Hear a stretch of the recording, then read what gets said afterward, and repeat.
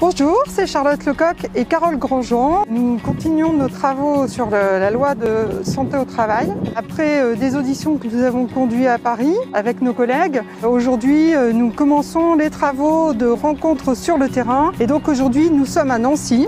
Pour ces premières démarches territoriales, nous avons choisi de visiter l'INRS, cet institut de prévention, euh, de recherche en matière de conditions de travail participe avec l'ensemble des acteurs euh, de la santé au travail à euh, prévoir quels sont les risques liés au travail et comment éviter ces risques-là.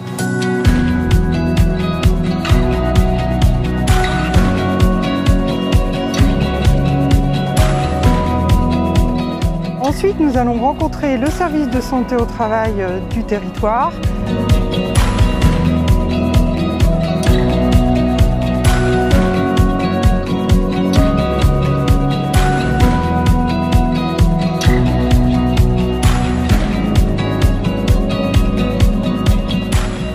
Euh, nous allons avoir un certain nombre d'échanges aussi directement en visio où on pourra associer davantage de nos collègues parlementaires et des acteurs de terrain parce que pour nous c'est très important d'avoir ces échanges sur les contenus, les contours du texte que nous sommes euh, en train de préparer. La prévention doit être un levier de protection que nous souhaitons euh, évidemment renforcer.